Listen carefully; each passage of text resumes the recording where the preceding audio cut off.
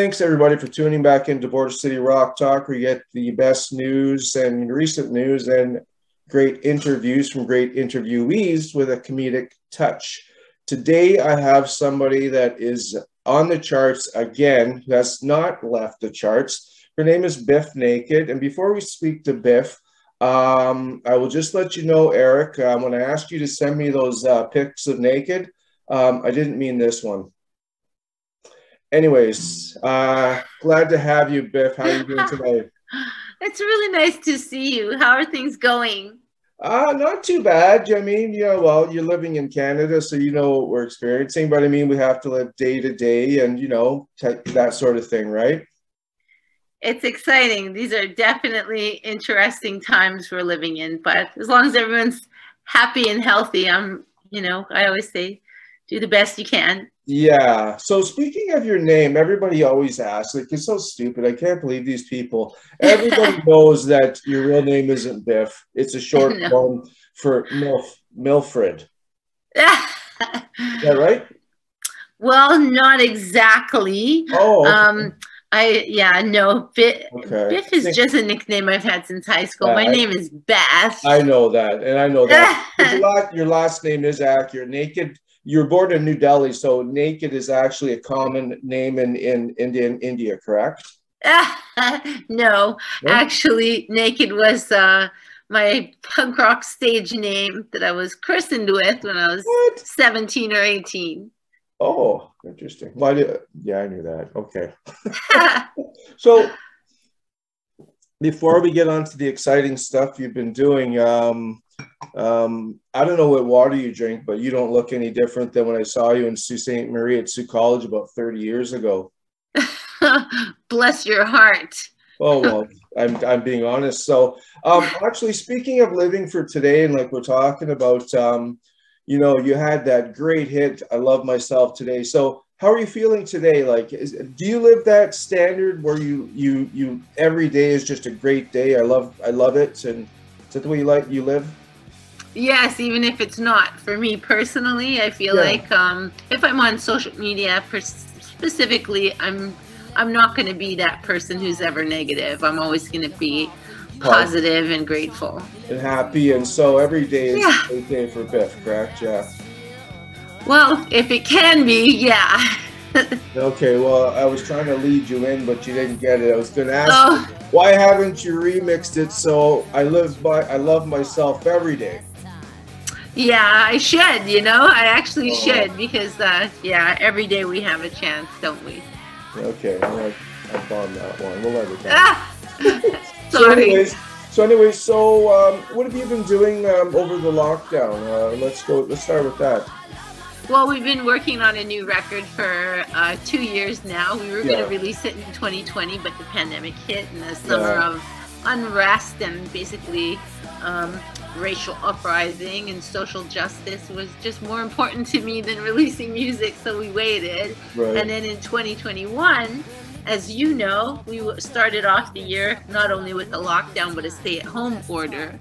Um, so we couldn't really do what we wanted to do um, as far as studio stuff and, and promoting a new release. So we waited again. Yeah. And then, uh, and here we are in 2022. And finally, because we've been tinkering with it so long, uh, we're looking forward to releasing a really full uh, and rocking record this year. And it's, it's uh, tentatively titled Still Champion? Yes. Okay. Definitely. Um, and how many tracks are going to be on that? I've read some certain um, pieces that it's going to be an extended, extended uh, album. Is that correct? You're going to have a lot of tracks? At this point, we might as well. So, I mean, who knows? Yeah. I mean, the sky's the limit, and the, the way it is with technology today, we're not limited anymore. It's really, no. it's really limitless what artists can do now yeah, you can do it. Like a lot of the people I've talked to, it's like, um, I mean, they're so comfortable record. Well, a lot of them will say, I'd rather be in a studio room with all the guys, get the energy and the vibe and the social. But some of the guys, especially said, I think it's guitar players because they can go into a room and, and you know lay down that solo when they're in the mood to do so. But some people work under pressure. So as you're saying this correct, you can do it from home. You can have your drummer do it from home, and you can all sync. And then the main yeah. thing is the touring. So now you're able to start touring. That's right. That's exactly right. Are you hitting? And we're hoping to. I mean, we had a show scheduled for January that has already been canceled and postponed. Yeah. Um, we've got three shows in February that are all in British Columbia. Mm. So far, those are still a go. Uh, so we'll be going to uh, Victoria area called Sidney. We'll be going to Lake Country, BC, and of course to Vancouver to the Rickshaw. Um, and looking forward to playing more shows uh, as the spring unfolds and in summer. We're hoping to do a national tour. Are you are you are you based out of Toronto right now? Are you living in uh, in Ontario? Yes, we moved here after living in Vancouver for 30 years. Wow. We moved here, and uh, and I've just I love it so much. We live on the lake, and I can't tell the difference between the lake and the ocean. It's so big. The lakes are all so big. Well, um, the oceans have salt in the water, so there's. Um... Well, they always say that over here you can smell the salt in Lake Ontario just because oh. it comes from all the roads. I never. That's what they say from all the roads. You can smell I the salt. Hear that? That is so cool. Um, yeah. Wow. Um, so, have you thought about maybe tour? There's a lot of not to get political, but there are a few states across the river, and well, I'm on the border, as you know, in Ontario, in Michigan, not Michigan necessarily. Well, actually, I think they're pretty open, but Florida and Texas, and, and you have a worldwide following. So, have you guys thought of shows there because uh, they're not going to really get canceled at this point? Like I think no, they won't. And and we've played many times in Dallas and Houston and uh, Corpus Christi in Texas, and then wow. in Florida we've been to Orlando and Tampa before. Um, yeah, you know, anywhere that'll have us, we'd be happy to tour. I like touring in America, obviously. We like touring in Europe a lot. Mm. Um, but Canada's my home and uh, I'm comfortable here and I love uh, the audiences here. I feel like I know everyone. I've been touring in Canada since I was 18. Yeah. Um, so we always start here and we feel safe at home. yeah. Well, so, sure. yeah, um, we'll see how it all goes. Sure, yeah, I was going to say if you're in Ottawa, I'm not too sure today, but it's um, it's just crazy. Um, anyways, I'll get off that topic. so, um, where was I going to go? Oh yeah, so you're born in India. You've lived all over the place. Uh, you lived in the states, and I, I heard you were a doctor. Um, well, of letters, and those are both both of my degrees are honorary degrees from universities. Uh, one is from University of Fraser Valley, and the other one is from Simon Fraser University. Uh, and you know, um, I can look at my dad was a dentist. He was a professor of dentistry. Yeah. Uh, so for him, it's a big deal because I dropped out of university in my first year to go on tour. Yeah. Uh, so to be able to get these honorary doctorates made my parents very happy. Well, that's awesome. Um, yeah. So what I I I had heard you were a doctor, and then your other parents. Um, I'm thinking of another word. Maybe I meant uh, adopted. I, I, am adopted, but okay. I do I do have honorary doctorates too. But being adopted is uh, here in um, my birth mom actually lives in Ontario, even though she had me in New Delhi, and she's only 15 and a half years older than I am. No way. So being being able to visit with about, her is cool. She must be about 50 then? You're so nice. No, I'm, um, I'm being honest. It's actually, very everybody, cool. Everybody that watches this interview is going to say, like, I mean, you don't age. I mean, ah, you, you know it's, what? It's all lighting. oh yeah, I'm sure. so lighting. Um, so you've done everything. You've acted. You've uh, written. Um, what gives you the the the go go go to always be busy? Uh, I think that anybody, probably like yourself or anyone you know who's a creative person, we're kind of just uh, always doing things, different things. Yeah. Um, you know, being creative every day is something that is always interesting and fun. You know, yeah. whether you're doing cartooning or writing a short story or working in the studio, my my biggest love is performing yeah. more than anything else. I'm a performer before I'm an artist, and uh, that's basically my art. You know, the stage has always been the medium that I like working in. So, not being able to perform has been really hard over the last few years. So, I hope to get back to it full time. Yeah, for sure. So, when's the next show? Is it um, what's the date of the show that's upcoming that hasn't been jinxed yet. Um, I think it was. Um, so we have uh, our shows in BC, which are in February, Yeah, but hopefully right. there's one coming in March, hopefully. Um, and in June, we just got announced June 18th in Burlington Oh, uh, at a festival there. So we're very excited about that too.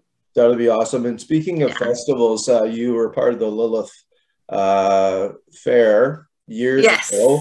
Um, do tell some of the viewers. I've got a big reach now, like all over Algoma. No, I'm just kidding. We love, but um, uh, tell some of the people that you know know who you are from you maybe your TV or your um, other endeavors, but weren't aware you're part of that great, great uh, um, time in history and and who was a part of it. And do you remain friends with any of the other uh, females uh, that were performing at the time? Well, I mean, Sarah McLachlan and her team kind of uh, dreamt up and created Lilith Fair as a platform for female artists. At that time, it was kind of difficult to get um, on a bill with other females. And I knew it in a, probably on 10 uh, compared to a lot of those artists because I was trying to get on the bills in the rock music circles. There weren't Mhm. a lot of other females. So to be kind of cast in this um, amazing uh, vision that she had for Lilith Fair. It was artists like Sheryl Crow and Suzanne Vega and, Sarah McLachlan, Indigo Girls. I mean, it was, you know, I, I felt like we were the only uh, band that had Marshalls and motorcycle boots. Um, I felt a little bit intimidated because all of these other women, in my opinion, were very accomplished, um, accomplished artists and songwriters. So you know, I was a young artist at the time and it was an amazing opportunity. Um, so we were able to tour all over the States with Lilith Fair. And the same summer we did Lilith Fair, I was going back and forth between those dates and opening for the cult uh, in America and also doing the Warp Tour. Yeah. So it was like having to shift gears um, every week and, uh, you know, kind of tone it down or, uh, or raunch, raunch it up. So it was Yeah. it was a lot of fun. It was a busy a busy time. Yeah, you're very diverse in your music. I was listening to your uh, le- uh, latest single, um, "Broke into Your Car," and it's got kind of a really cool techno kind of dance vibe. Am I right? Yeah, definitely. It's a fun song and and that's what it's supposed to be. I've been very lucky over the years being able to be a little bit eclectic on every record and use different styles. I mean, like anybody, I like all styles of music. Yeah. And um and to be able to kind of have production that is a nod to uh, a dance kind of theme was uh was a real blessing for this song because this song is about um you know trying to get the attention of your crush basically Yeah. Well, you so I, I was crush. happy with that You- what's that You found your crush because you're you're married him. So yes um, I, yes i did Did you write that song? third third time's the charm third time's the charm um no not necessarily i mean the song is kind of you know it's a bit metaphoric obviously i don't Yeah. want to encourage anyone to break the law and break Yeah. into a car but um you know it's about leaving mementos yeah. uh to to kind of uh, spark the interest of your of your love interest or your paramour Yeah, you, you don't mean something like you know you know climbing up somebody's bedroom window and, and leaving uh no letters. no Okay. don't do that Yeah. So I'll put it I'll put it across the screen. I'll put no stalking. Not, that's right yeah Not, not to be taken literally. So um I mean I'm looking back in your bio just to refresh my memory. And one thing I remember years ago noticing, like obviously you're talented, but Desmond Childs, like that guy that that's just to get a person of that that name just to be attached to you must be must have just did that kind of break everything when people realized wow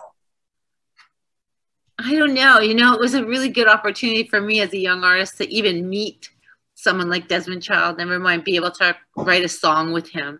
yeah And uh, and obviously, it was I love myself today. Mhm. Um, and he, he's amazing. I mean, we've always been huge fans of of him over the years, and of course, all, all the bands that he's performed in and, and been in himself. But not just that, but all the artists that he works with. Like Yeah. you know, my uh, my partner Snake is uh, the the world's biggest Kiss fan and Kiss collector, yes and um, you know, Desmond had written some of our favorite songs with Paul Stanley, for example, and it's just yep. like his his um, writing ability and reach, all the artists that he's written with, um, just everyone from Ricky Martin to like anyone you can yes. think of. You know, it's just yeah. he's amazing. He is just the, probably the most talented songwriter I've ever met. He's up there, and there's just since you're bringing that up, I thought I'd segue to um, you know Elton John. What a great performer, singer, but his songs are mostly written by Bernie Taupin. Yeah, very interesting for sure. Yeah, very very interesting. So you're speaking of you toured with the Cults, so you know I mean that's kind of my cliche music genres, like you know kind of the Cult, Maiden, Priest, yeah, Doc, and Def Leppard stuff. Um, but I am well rounded and I, I love everything. But um, how was it with touring with Ian? Amazing. Yeah. You know, amazing. Um, I've toured with him twice. Once when it was the Holy Barbarians, when I was a really young artist, we toured with the Holy Barbarians in America, yeah. and then the Cult tour um, was the same summer we did Lilith Fair.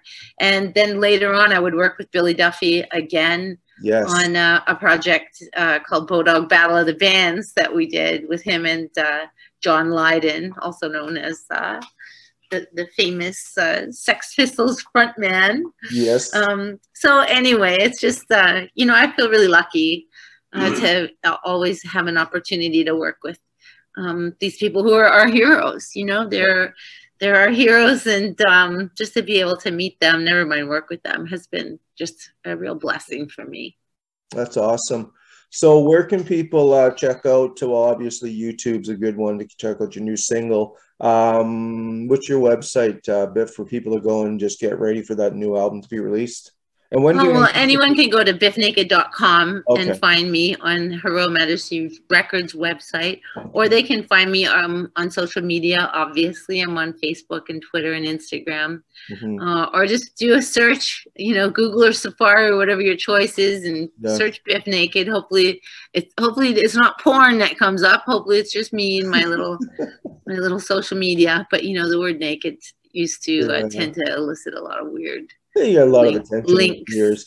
Do you, do, you, do, you sign things as that? Because technically, you know, when you sign things and people say, I need your signature, you can use an X as long as you use it consistently. Have you done that or you? Just... Oh, interesting. That's very interesting. it's true. But it's law. You can do it. Somebody, an uncle told me that 40 years ago, and I know by law, like, and especially now when they ask you to sign something, you just scratch it because A, you're doing it consistently, and B, everybody's on camera. Yes.